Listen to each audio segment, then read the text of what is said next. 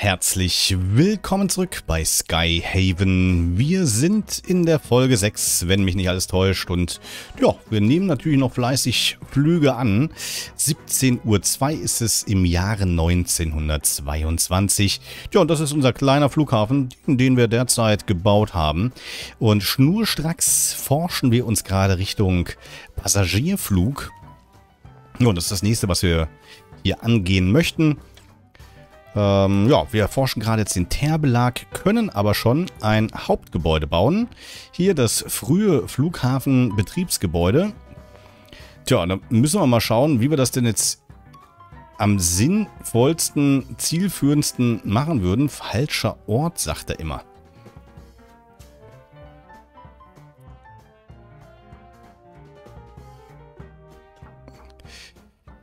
Ja, hier bin ich eigentlich auch der Meinung, je näher wir dran sind, hier an der Start- und Landebahn, desto besser ist es zum Schluss. Aber so wie bei den anderen Spielen, also Airport C und so weiter, also im Flugsicherheitsbereich gibt es jetzt hier tatsächlich noch nicht. Vielleicht muss man den aber auch losgelöst oder das hier losgelöst hinstellen, weil wir noch verschiedene Bereiche anschließen müssen. Zum Beispiel hier das Terminal per Straßenverkehr, aber auch den Gepäck, nein, den Verladebereich für die Bus, Busse, so, steht es hier, Busdepot, ähm, dass der auch nochmal gesondert angeschlossen werden muss. Ja, ich würde es trotzdem relativ nah hier irgendwo in die Mitte bauen. Vielleicht ja auch hier irgendwo. Dann ist der Weg nicht ganz so weit und dann können wir sagen, die ersten zwei Stands sind dann dafür freizuhalten oder so. Mal gucken, wir probieren es einfach mal aus. Wir können es ja noch äh, hin und her schieben, wenn wir das denn möchten. So, Feldweg.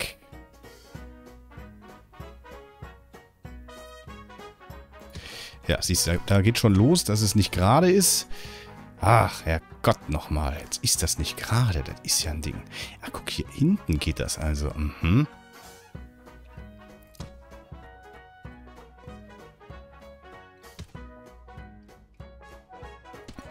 Ja, machen wir es mal so. Keine Ahnung, ob das zum Schluss richtig ist.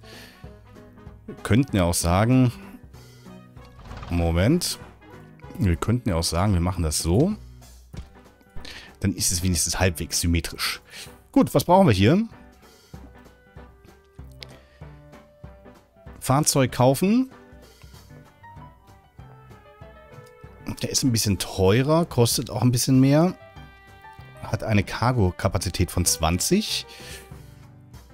Nicht genügend Parkplätze. Ach, der braucht zwei, oder was?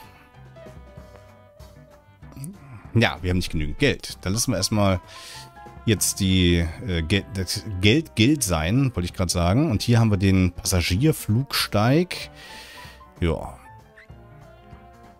Vorfelder manuell verknüpfen, das machen wir. Eins da und eins da. Das machen wir bei zwei. Und hier machen wir das natürlich auch. Gepäck. Müssen natürlich die gleichen sein, ne? Parkplatzausbau. 3000. Ja, also wir sehen, Passagierflug ist schon mal deutlich teurer als das andere. Aber ist nicht schlimm. Bringt ja auch mehr Geld zum Schluss, so hoffe ich zumindest. Tja, und jetzt warten wir mal drauf, dass wir da ein bisschen Geld reinkriegen. Ah, 17.15 Uhr. Hoffe doch, der ein oder andere kommt gleich noch. Ja, genügend Sprit haben wir noch in den Tanks. Aha. Da ist wieder einer. Der möchte landen für 1250 insgesamt. Nehmen wir.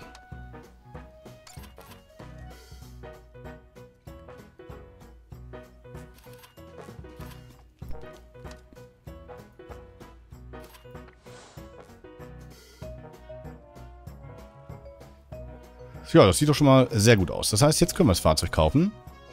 Auch gerne den DMG 10. Probieren wir ihn einfach mal aus. Und dann hätten wir hier ja noch einen, einen Bus für 900. Kaufen wir auch. So, das Einzige, was wir jetzt noch nicht können...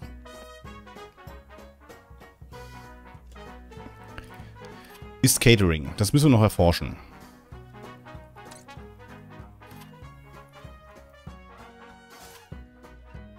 Aber wenn jetzt ein Passagierflugzeug kommt, dann können wir das zumindest schon mal annehmen.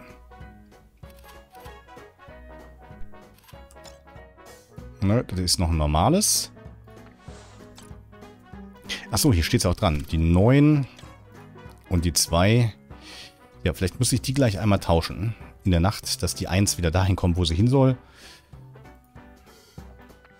Und hier die Reihenfolge einfach mal richtig ist, ne? Dass wir hier die 1 haben, 2, 3, 4. Achso, dann müssen wir noch einmal da tauschen. Okay, 1 mit Dingens und die 9 dann hier hinten hinrutscht. Ja, muss ich die alle noch einmal verschieben. So ein Mist.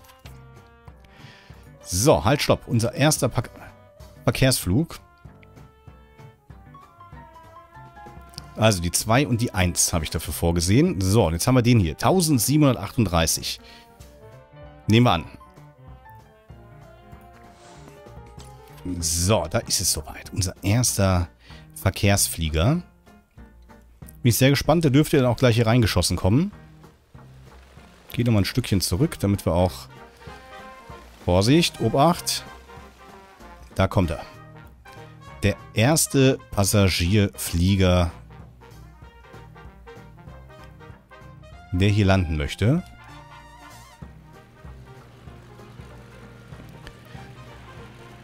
Ein bisschen blöd, dass sich die Farbe dann immer so ein bisschen ändert.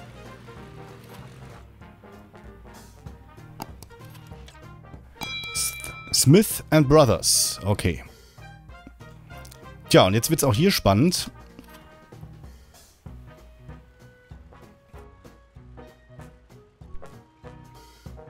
Weil jetzt unsere, unser Bus-Terminal, also der Bus mit den Passagieren, aber auch für Gepäcke losfährt. So, der braucht auch noch ein bisschen was.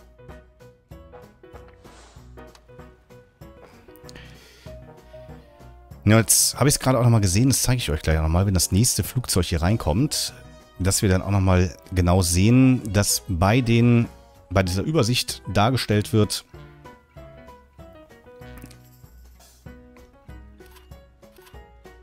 welcher Service bei welchem Stand angeboten wird.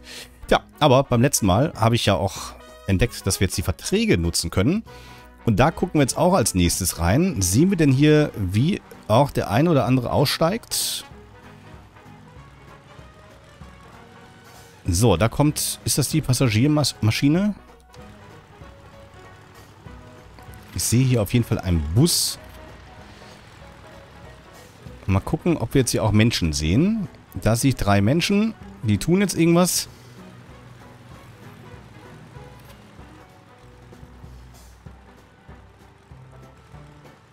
So, Gepäck wird ausgeladen, wenn ich das richtig sehe. Das ist jetzt nicht sonderlich animiert.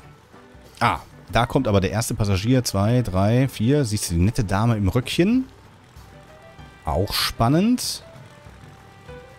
Tja, und dann werden die jetzt zum Terminal gebracht. Hier vorne. Und dann hoffentlich auch von irgendwem abgeholt. Ja, wir wollen aber trotzdem einmal kurz ins, ins Vertragsfenster gucken. Und wenn ich das richtig gelesen habe, dann wird es so sein, dass wir immer mal wieder neue Anforderungen kriegen mit den einzelnen von diesen Verträgen. Heißt, die haben dann natürlich höhere Anforderungen, wollen dann, dass hier noch Essen äh, mitgeliefert wird und so weiter. Zustieg, Ausstieg von elf Passagieren. Sprit wollen sie haben, Gepäck für fünf und ja, Flugkontrolle. Den könnte man zum Beispiel nehmen. Für 1100 und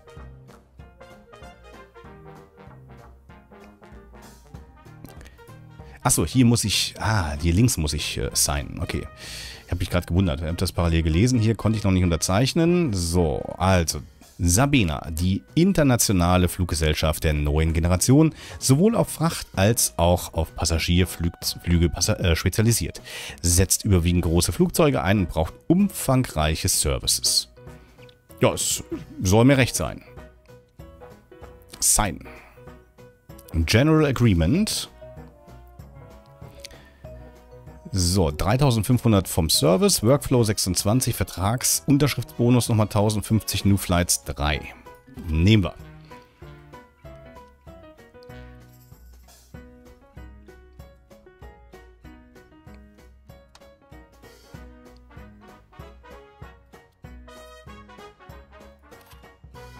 So, jetzt haben wir doch aber unterschrieben.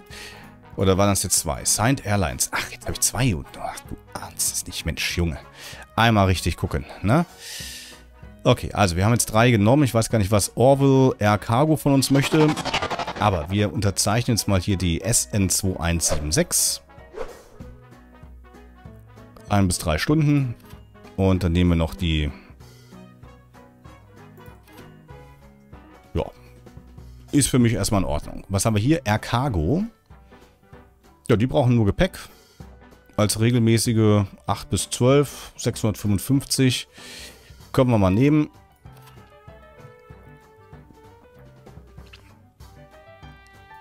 So, und das wiederum bedeutet, dass wir uns diese Stands jetzt hier mal angucken. Jetzt habe ich die beiden ja hier, glaube ich, ausgewählt. Genau. Und das sind Bedarfsflüge. Jetzt können wir mal nur auf planmäßige Flüge rüber huschen. Zumindest bei dem einen. Das ist Nummer zwei für das. Und hier machen wir auch mal planmäßige Flüge bei zwei Stück. Den Flugsteig müssen wir hier nicht connecten. Ja, das sieht doch ganz gut aus. Also, wir haben jetzt die ersten beiden, also die ersten vier für planmäßige Flüge, die ersten zwei für Passagiere, die nächsten zwei für Gepäcke.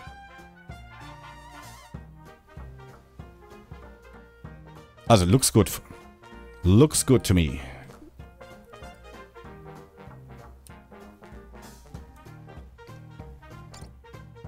So, und jetzt gehen wir langsam aber sicher in die Nachtruhe über.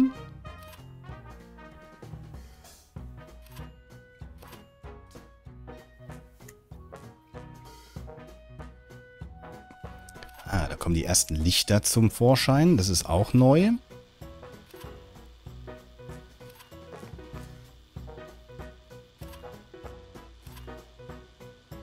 Ja, mittlerweile haben wir ein kleines, geschäftiges Treiben hier. So, da wird aufgetankt. Jetzt wird auch nicht mehr geforscht. So, und da steigen ein paar Passagiere aus. Und er kann los. Oh, haben sie jetzt zwei hier stehen lassen? Ah, ich könnte mir vorstellen, dass die, die Kapazität noch nicht ausreicht. Und wir noch einen zweiten... Ja, zehn passen da noch rein. Wir noch ein zweites, äh, einen zweiten Parkplatz brauchen. Und noch einen weiteren Bus. Jetzt haben sie da einfach stehen lassen. Zwei Damen. Ah, okay, weg sind sie. es ist ja unglaublich.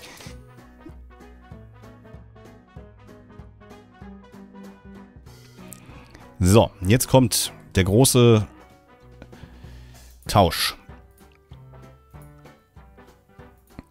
So, und ich baue mal dahin. Jetzt kommt die 1. Bitte schön hier vorne hin. Zwei haben wir da. Jetzt müssen wir alles tatsächlich einmal verschieben. Und dann wahrscheinlich auch einmal neu connecten. Ah, Mensch, das ist da nicht zu fassen. Muss ich das hier wieder einmal ausmachen. Einmal richtig arbeiten, ne? So, das passt. Dann kommt die 5 hier rüber. Dann die 6, bitteschön. Die 7. Die 8. Und die 9. kommt dahin. Wunderbar. Great. Grasrollbahn. Kommt dahin. Happy. So, dann schalten wir alle wieder ein. Ist noch. So, weil den haben wir nicht verschoben. Ja, und so ist immer was zu tun. Ne? Leichte Optimierung im laufenden Betrieb So, und jetzt geht es darum, nochmal zu verknüpfen. Also, ihn hier hinten, das dürfte die 9 sein.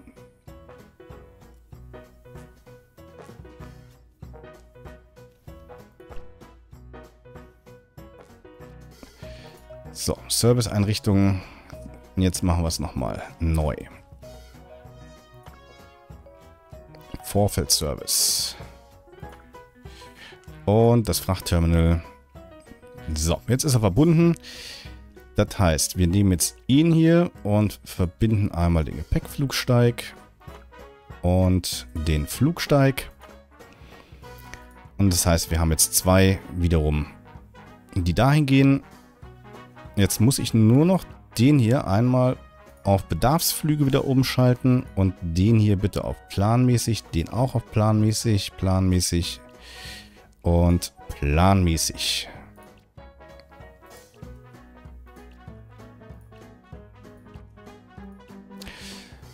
Okay, jetzt haben wir auch die richtige Reihenfolge wieder. Na, 1, 2, 3, 4, 5, 6, 7, 8, 9, 10. Prima. Dann wissen wir jetzt auch, wie es läuft. Genau, das schalten wir wieder ein, das Ding hier. Zack. Und wir haben kein Problem mehr. Gut, dann bin ich auf die Bilanz gespannt des heutigen Tages. Aha, 36.000 von Flugzeugen und dann nochmal 2.640 durch Vertragsunterzeichnung. Macht ja 38.000. Haben wir immer noch ein kleines Defizit von knapp ja, 1.800, aber das ist nicht schlimm. Na, wer Einkommen hat, der muss natürlich auch dafür sorgen, dass er das Ganze wieder ausgibt. Denn nur so werden wir zum Schluss großen Profit machen.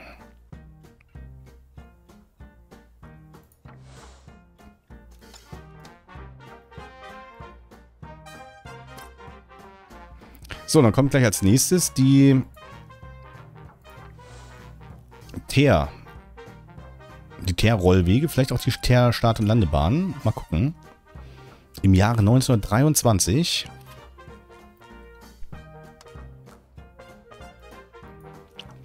Ach, genau. Und jetzt müssen wir hier aber nochmal reingucken, ganz kurz. Wir haben ja auch mit Orville Air Cargo was abgeschlossen. Ja, also zwei Flüge haben wir angenommen. Nehmen wir noch den dritten an und dann ist alles gut. Gut, jetzt haben wir drei. Hier haben wir zwei. Das passt soweit. Und jetzt könnten wir natürlich noch neue Airlines dazu nehmen.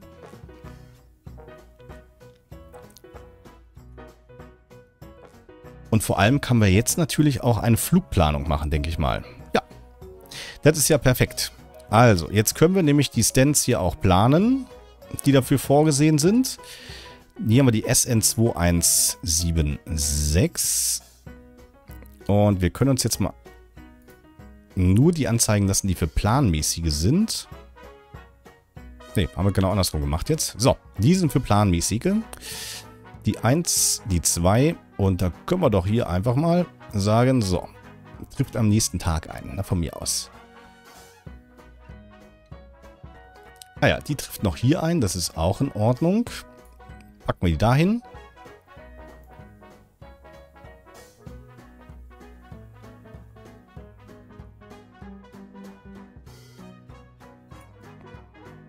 Was ist mit dem? Wasserausgabe. So, okay, gucken wir uns den an.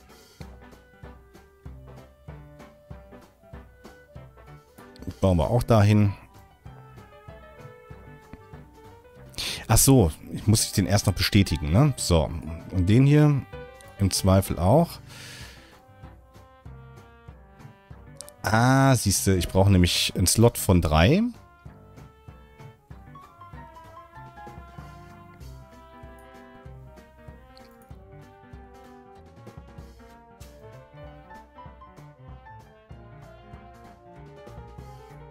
Ja, wir es mal so. So habe ich das bei Airport CEO immer gemacht.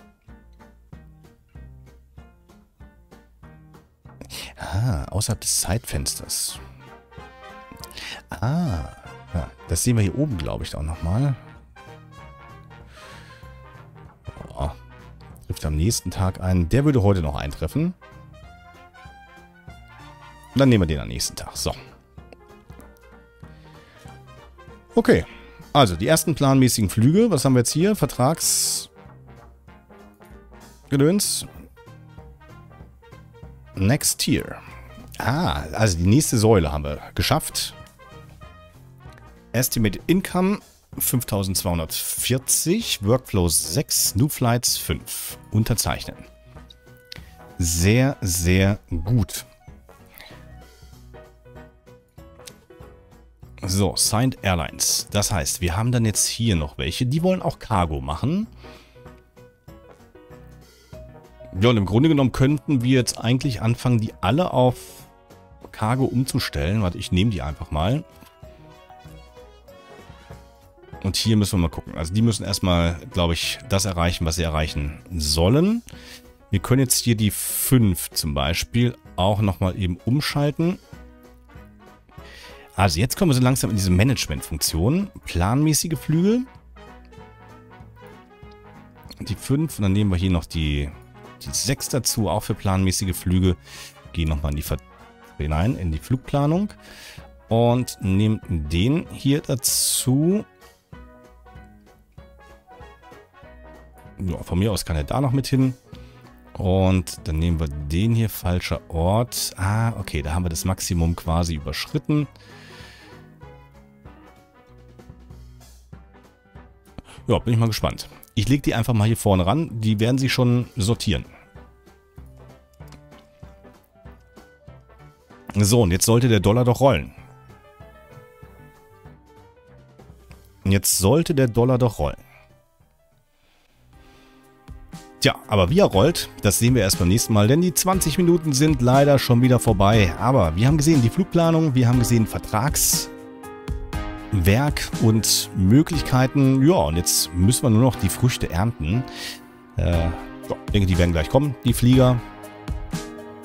Und dann schauen wir, was passiert. Also, wenn es euch gefallen hat, Daumen da lassen, gerne ein Abo, gerne eure Kommentare. Natürlich bitte auf Discord joinen, Teil der Community werden. Natürlich auch, äh, wenn ihr denn mögt, äh, auf Twitter und Instagram mit reinschauen. Ja, dann sehen wir uns beim nächsten Mal hier oder bei einem der anderen Spiele oder im Livestream bei mir auf dem Kanal. Bis dahin, bleibt gesund, macht's gut. Ciao, ciao und bye, bye.